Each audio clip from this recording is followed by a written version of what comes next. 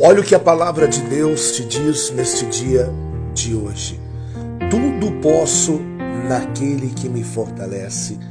A palavra de Deus está dizendo que tudo aquilo que você tem pedido, tudo aquilo que você tem clamado, todos os projetos e os sonhos que você tem colocado no papel, todos eles você vai alcançar.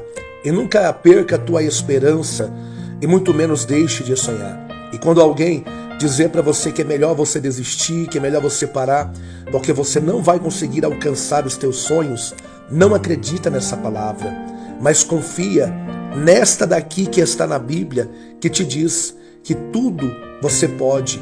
Aonde você quiser chegar, você vai chegar, porque a força que habita em você é muito grande e essa força vem de Deus.